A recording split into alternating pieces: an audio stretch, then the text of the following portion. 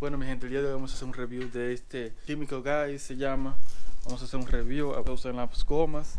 Vamos a usar en la goma mía hoy de mi carro. Como pueden ver está bien, bien sucio. So, vamos a ver el brillo que le hace a esto. Veo mucha gente que están haciendo videos y reviews sobre este líquido pero están haciendo más. Se lo voy a enseñar ahora cómo se hace y que también queda. No les recomiendo que compren este si tienen un negocio. Esto sería más para una, sola, una persona que limpie su propio carro porque es muy pequeño y un poquito caro, sí. Bueno, mi gente, el día de hoy está más frío de lo que yo pensaba. Así que voy a ver si mejor hago esta parte solamente para que ustedes vean ah, cómo funciona este químico.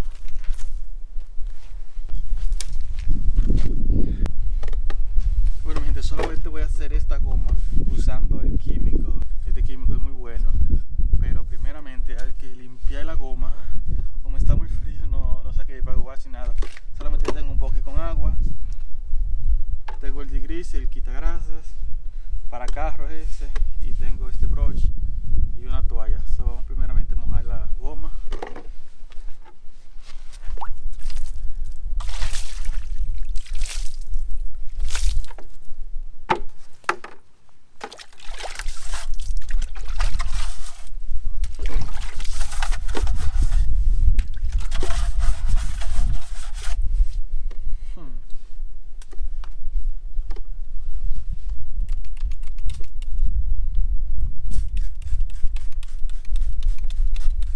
echamos el degreaser este tapadro está malísimo debería comprar uno nuevo no sé si lo compraría o no porque necesito comprar también una camioneta no sé si una camioneta o una van para el negocio porque quería una camioneta también porque me serviría para la casa para mover y eso y la cosa. Ah, limpiamos la goma el gris lo que hace es que le quita la grasa lo limpia pero ese líquido lo que va a hacer que así como se ve ahora mojado negro así que está supuesto que quede. Pero cuando se seca no queda así. Así ese es lo que va a hacer que va a durar va a hacer que dure suficiente tiempo la goma que se ve siempre así negra y esos químicos tienen bueno que huelen rico ese yo no no sé qué huele lo voy a decir un rato pero son famosos esos químicos por eso por el olor que tiene también. Buena calidad sí es pero hay que saber usarlo. So, ahí está mojado so, vamos a esperar que se seque un poco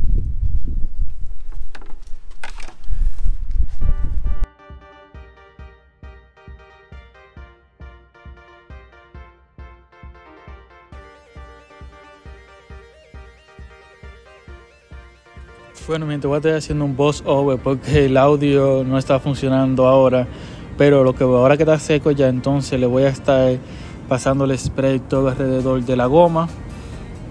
Eh, si se moja un poquito en el aro o algo, con una toalla lo vas a secar.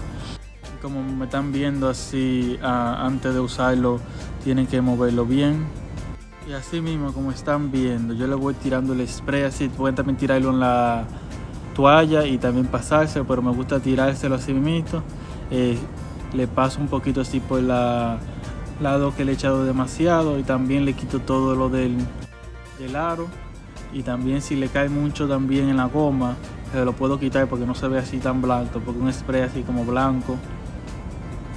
Ya luego que pasó como unos 5 minutos nomás de ahí entonces le voy a poner otro copo arriba.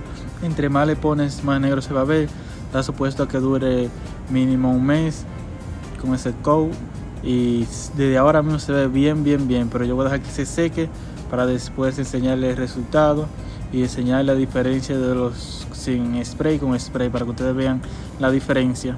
Bueno mi gente ya ha pasado 30 minutos. Miren esta es la goma de atrás. Mira cómo se ve de fea se ve así como la tierra y eso. Miren la que hicimos bien negra parece nuevecita el aro lo único que lo daña pero luego de eso miren que nítida se ve eso el final, ¿qué ustedes piensan? Déjenme saber abajo en los comentarios.